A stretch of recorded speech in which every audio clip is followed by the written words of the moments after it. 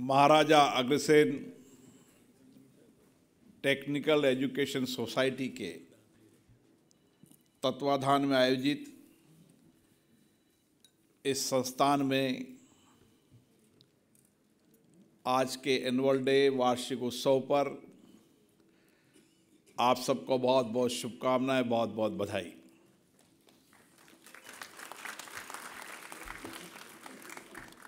महाराजा अग्रसेन जी के विचार, उनके कार्य, उनकी प्रेरणा, उनका संदेश, आज भी देश और संपूर्ण विश्व के अंदर एक नव निर्माण की ओर उनका संदेश जाता है। उस समय के वह शासक थे, लेकिन शासक होने के बाद भी उन्होंने एक सर्वश्रेष्ठ प्रशासन के रूप में उस समय के राज्य को एक दिशा दी। एक रुपये एक ईट की, नवनिर्माण की इंफ्रास्ट्रक्चर के माध्यम से सामाजिक कल्याण हो जन जन का कल्याण हो। आज इतने वर्षों बाद भी जब मैं देखता हूँ कि उस समय का विचार था कि देश में अगर कोई भी शासन करने वाला व्यक्ति हो, वो इंफ्रास्ट्रक्चर के माध्यम से हमारे देश में एक इंस्टीट्यूशन खड़ा करेगा, जिसमें हमारे बच्चे अच्छी शिक्षा प्राप्त कर सकें। देश में अच्छी रोड कनेक्टिविटी हो, अच्छी रेल कनेक्टिविटी हो, अच्छी एयर कनेक्टिविटी हो, अच्छी जलवायु कनेक्टिविटी हो, इससे देश समृद्ध और खुशहाल होता है। और वही दिशा आज हमें देश में दिख रही है। प्रधानमंत्री नरेंद्र मोदी जी के नेतृत्व में एक नई दिशा कि भारत प्रगति की और खुशहाली की ओर बढ़ रहा है। और मैं कह सकता हूँ कि भारत को प्रगति और खुशहाली उस ऊंचाइयों पर ले जाने में अगर सबसे बड़ा योगदान है तो हमारे नौजवान विद्यार्थियों का है। उनकी बौद्धिक क्षमता, उनका तकनीकी ज्ञान उनकी शिक्षा और अनुभव और संस्कार के माध्यम से आज देश में नहीं, दुनिया के अंदर, भारत के नौजवानों के कारण भारत की समृद्धि खुशहाली बढ़ी है। और आज हमें ये विश्वास, भरोसा रहता है कि दुनिया के अंदर, आने वाले समय के अंदर भारत आर्थिक और सामाजिक क्षेत्र के परिवर्तन में सबसे अग्रिम देश होगा। तो उसका कारण आप जैसे नौजवान हो। मैं विशेष रूप से इस मौके पर इस इंस्टीट्यूशन के संस्थापक जो लगातार चाहे शिक्षा का क्षेत्र हो, चाहे चिकित्सा का क्षेत्र हो, चाहे सामाजिक क्षेत्र हो, चाहे धार्मिक क्षेत्र हो, जिन्होंने सामाजिक जीवन से लेकर राजनीतिक जीवन तक अपना सारा जीवन समर्पित किया, श्री नंद किशोर गर्ग जी हमारे राज्यसभा के सदस्य और आईसीआई के नेशनल प्रेसिडेंट जिन्होंने एक बहुत बड़ा योगदान चार्टेड अकाउंटेंट संस्था को दिया, जहाँ पारदर्शिता है, जवाबदेही है, जहाँ सही कहा उन्होंने कितने साल बाद भी बिना सरकार के नियंत्रण के इस संस्थान में इतनी पारदर्शिता है। कि कभी भी इतने एग्ज़ाम होने के बाद भी कभी संस्थान पर सवाल नहीं उठा। और अभी राज्यसभा के हमारे सदस्य एन डी गुप्ता जी, विनीत गुप्ता लोहिया जी, जिस संस्थान के चेयरमैन हैं, मुरादाबाद रहते हैं। आत्मनिर्भर भारत की ओर बढ़ने के लिए वहाँ के लोगों को रोज़गार दे रहे हैं और वहाँ से एक्सपोर्ट कर कर दुनिया के अंदर, भारत के अंदर विदेशी धन ला रहे हैं। Shri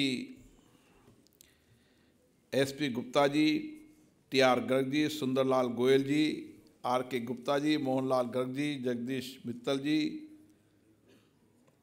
साहब अग्रवाल जी, मैं सभी संस्थान के ट्रस्टियों को बहुत बहुत साधुवाद देता हूँ। बधाई देता हूँ। जिनके प्रयास से आज ये संस्थान लगातार काम कर रही है। साथियों, अगर इंफ्रास्ट्रक्चर खड़ा करना एक हमारा लक्ष्य होता है, लेकिन उन इंफ्रास्ट्रक्चर में सबसे बड़ा काम होता है वहाँ के प्रोफेसर वहाँ के पढ़ाने वालों का। और मैं उन सबको विशेष रूप से धन्यवाद देता हूँ, यहाँ के वाइस चांसलर यहाँ के प्रौद्योगिक प्रोफेसरों को।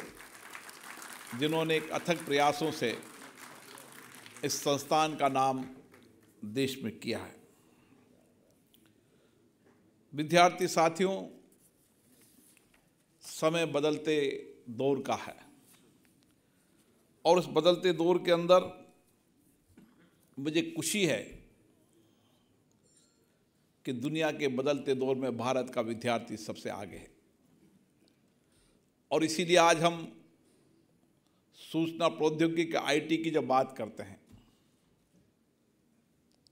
इंफॉर्मेशन टेक्नोलॉजी की जब बात करते हैं, उसके माध्यम से नए इनोवेशन की बात करते हैं तो दुनिया अगर सबसे पहले देखती तो भारत के नौजवानों की ओर देखती। मैं दुनिया के कई विकसित देशों के अंदर गया।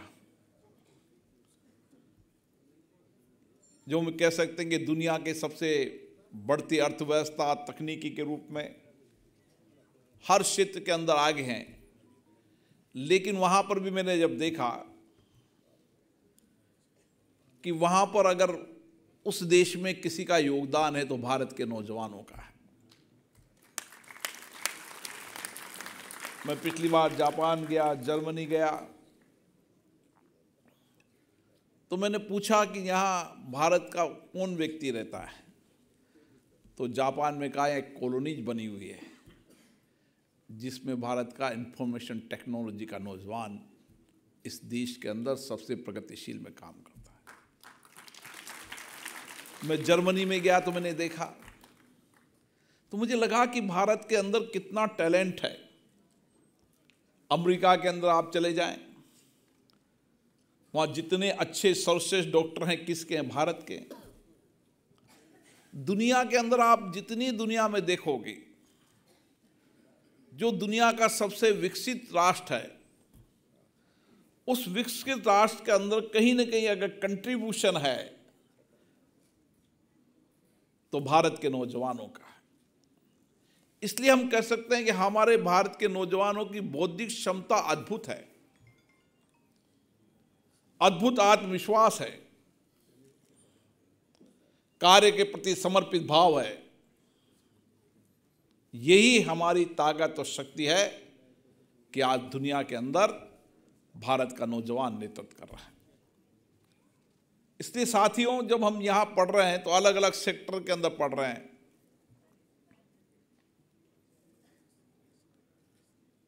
और हम जिस भी सेक्टर में हमारी पढ़ाई है,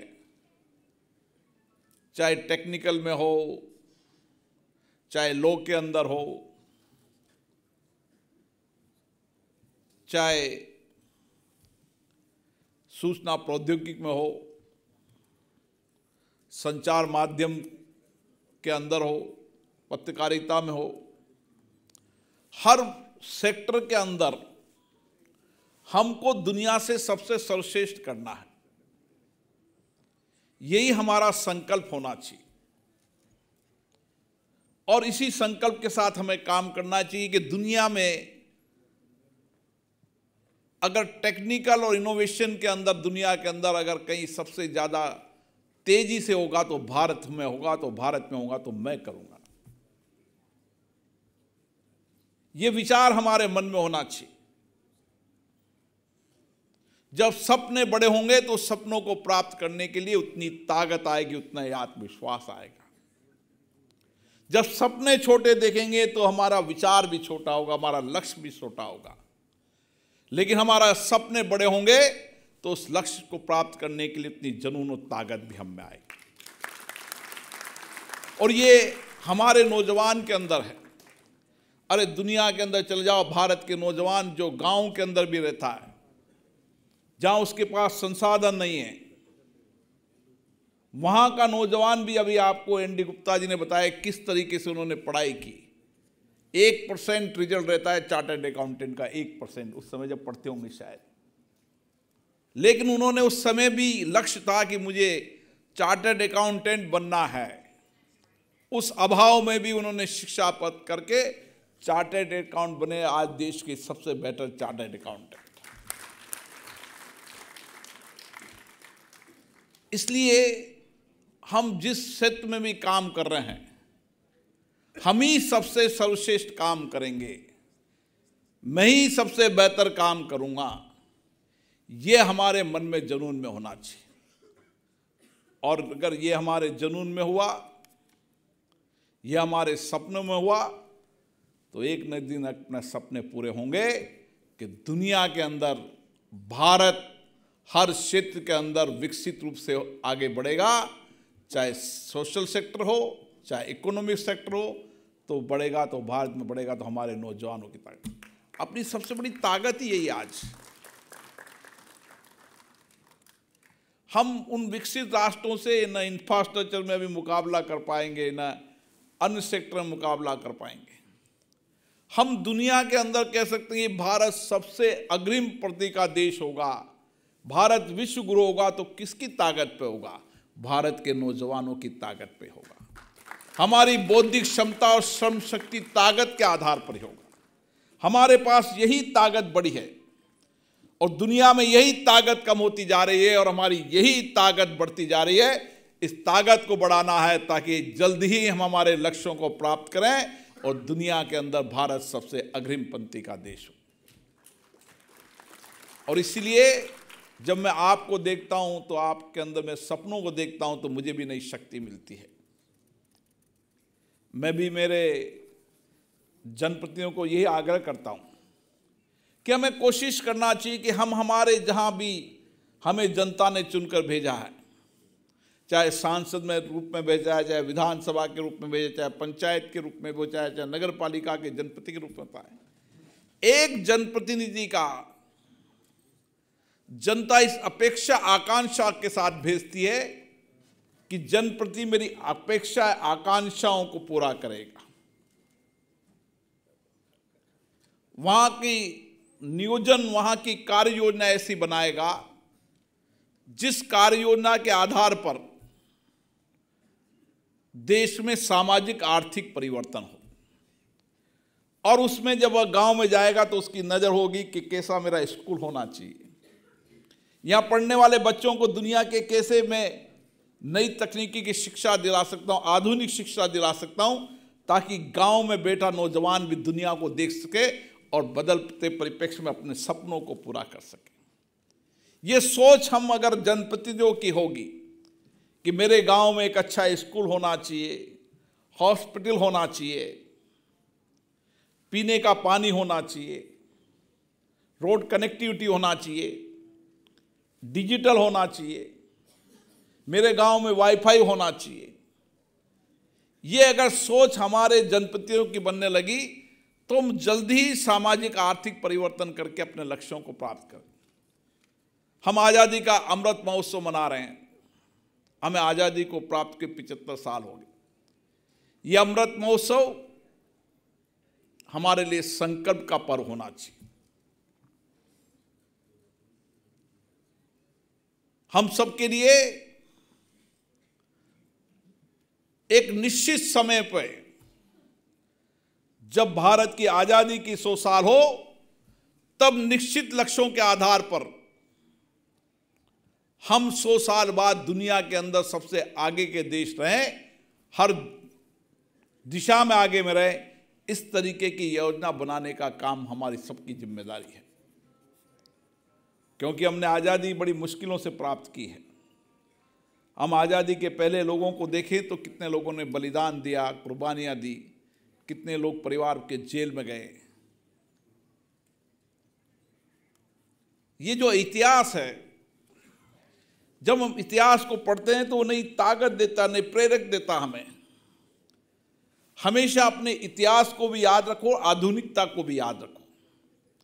इसलिए जब हम अग्रसेन महाराज जी के जीवन को देखेंगे, उनके विचारों को देखेंगे, उनकी दृष्टि को देखेंगे तो हमें लगेगा कितने साल पहले एक शासक ने देश कैसा होना चाहिए विचार किया था।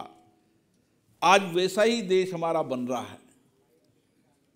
तो जितने भी लोगों की जीवनी हम पढ़ते हैं, जितने भी लोग, हम जितने ही बड़े लोगों की जीवनी आप पढ़ेंगे कैसे अब्दुल कलाम आज़ाद ने अपनी पढ़ाई की, पढ़ाई करने के बाद दुनिया के सबसे बड़े वैज्ञानिक बने, फिर भारत के राष्ट्रपति बने।